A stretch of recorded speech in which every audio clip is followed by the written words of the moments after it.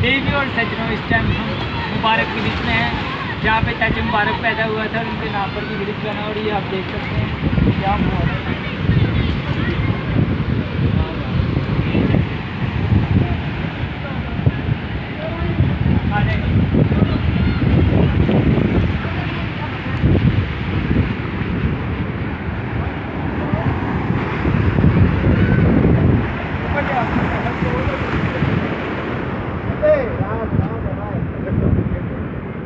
Go,